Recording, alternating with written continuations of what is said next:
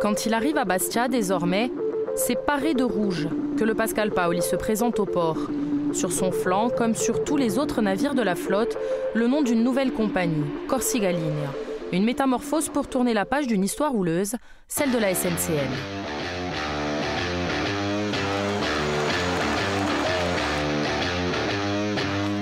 Des décennies marquées par des conflits sociaux,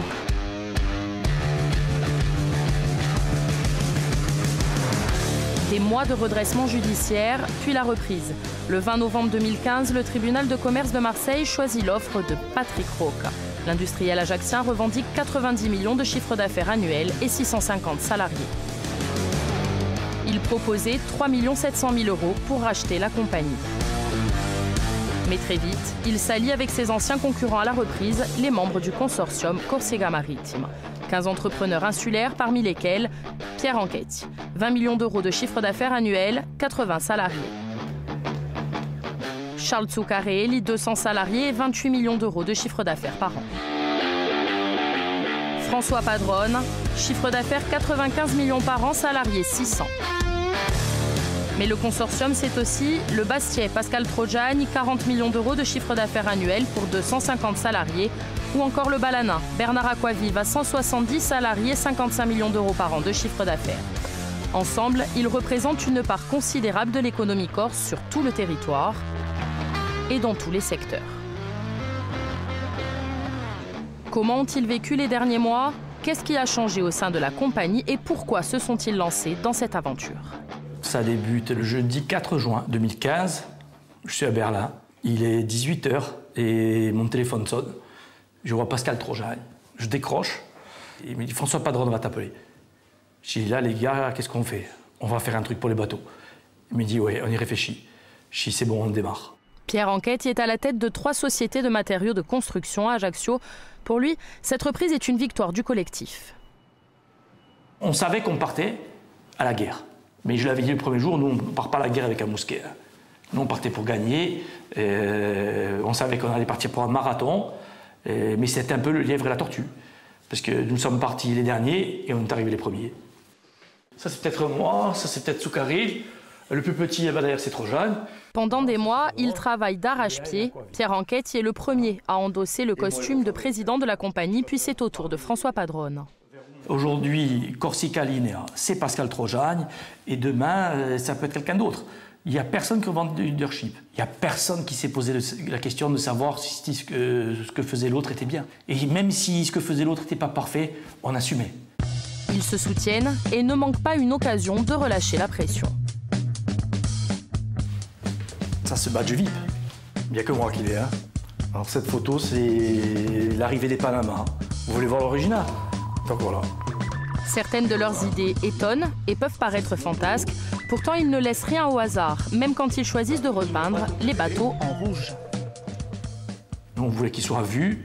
On est dans la rupture, parce qu'il ne faut pas oublier que le rouge, il y avait aussi un critère pour la discontinuité. Alors, on en parle souvent de discontinuité. quand on parlait de discontinuité économique, le fait de changer les couleurs, on ne peut pas dire qu'on était dans la continuité. Après, le nom, pour nous, c'était évident qu'il fallait qu'il y ait Corsica dedans. Donc corsicaline.com, c'est le clin d'œil euh, au fait que l'entreprise échange d'air et échange de monde. Rupture encore dans le style de management, car si les entreprises des membres du consortium sont parmi les plus importantes de Corse, elles n'en restent pas moins des petites et moyennes entreprises, et ils n'entendent pas changer leur façon de diriger. Un mot que moi je veux voir disparaître, euh, autant que je souhaitais voir disparaître le mot SNCM, c'est le mot grève. Donc euh, SNCM égale grève, grève égale Corse paralysée. Pour nous, le dialogue social, ce n'est pas un vain mot.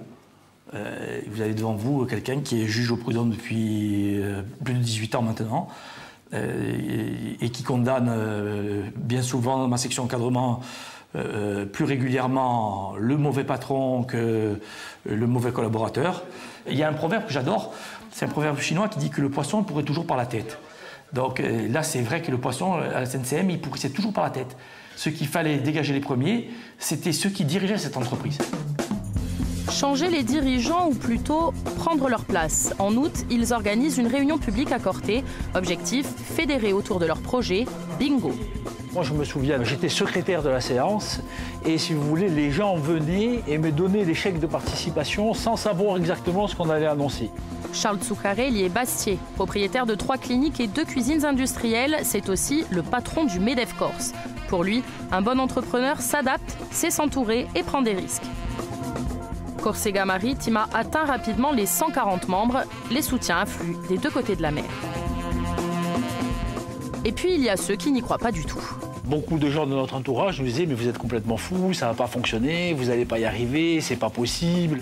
On, devait gagner, on a perdu. Euh, des difficultés de négociation avec les banques, avec les, syndicats, enfin beaucoup de difficultés qu'on a su surmonter pour après pouvoir euh, être à la tête de cette compagnie.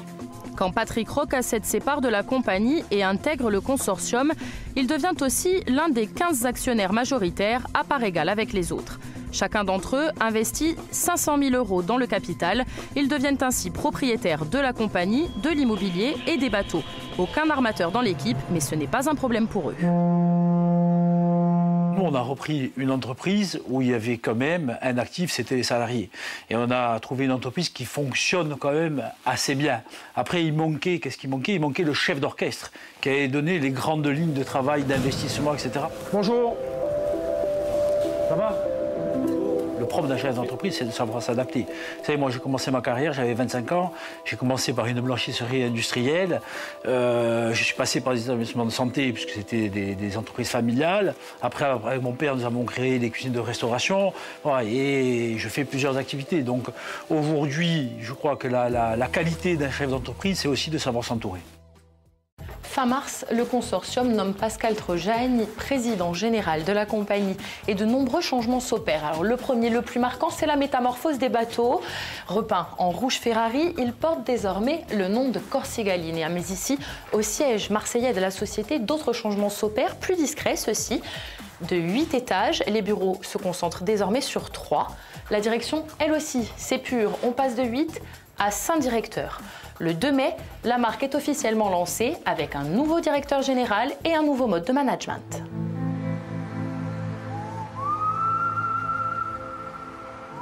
Monsieur, bonjour. Ça va Bonjour. Bon, alors, on s'en les ventes. Celui que les actionnaires ont choisi pour reprendre les rênes de la boîte, c'est lui, un Ajaxien. Pierre-Antoine Villano, directeur général de Corsigaline, et à son credo, la compagnie doit reconquérir les parts de marché qu'elle a perdues.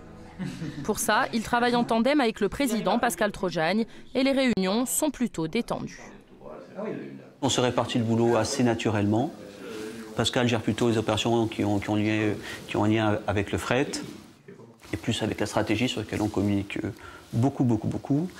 Et moi, je m'occupe de transformer la boîte, de faire bouger l'entreprise et de l'amener l'entreprise plus, plus dynamique. La force de la compagnie, c'est le fret. 60 000 remorques par an, soit 45% de part de marché. Elle est leader dans le transport de marchandises entre la Corse et le continent. Nos actionnaires viennent de ce monde-là, c'est le marché qu'on connaissait le mieux. Donc on veut le servir non seulement parce que certains de nos actionnaires sont nos, clients, mais aussi en développant la qualité de service liée au fret. Donc on a lancé toute une refonte de nos systèmes d'information. Côté passager, par contre, l'entreprise part de loin. Elle ne représente plus que 10% de part de marché.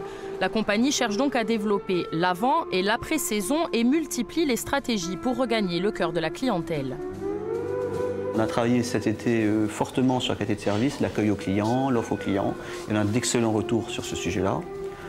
On s'est mis à travailler sur les prix en se rapprochant plus du prix du marché, en étant très serré en termes de, prix de marché. Donc il y a eu euh, des conséquences assez importantes sur euh, la fréquentation au mois d'octobre notamment. Et on essaie de travailler aussi sur notre fiabilité. Donc tout ça, normalement, doit arriver simplement à ce que notre entreprise retrouve les parts de marché qui doivent être les siennes.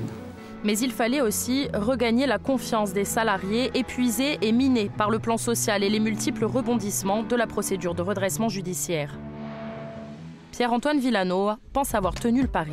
On a réussi à transformer cette entreprise d'une entreprise semi-publique à une grosse entreprise de taille intermédiaire corse, avec un style de management plus direct et des strates de management franchement réduites. Et on dit les choses telles qu'on les pense, et on agit tous les jours comme si c'était notre argent, ce qui est le cas. Autre engagement pris par les actionnaires au moment de la reprise, le maintien du nombre de salariés. Avec 880 CDI, ils font même un peu mieux que le seuil fixé par le tribunal de commerce. Quand ils embauchent une community manager, des officiers au poste de direction ou du personnel saisonnier, dès qu'ils le peuvent, et ils insistent sur ce point à compétences égales, ils privilégient les résidents corses. Cela suffira-t-il à garantir un dialogue apaisé avec les syndicats?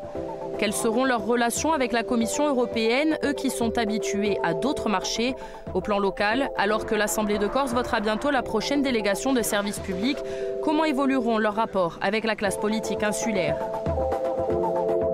Quelle destination en Corse et en Méditerranée Et à quelle fréquence Comment géreront-ils la flotte et son renouvellement Pour les dirigeants, comme pour les actionnaires de Corsiga Ligne, les défis restent nombreux.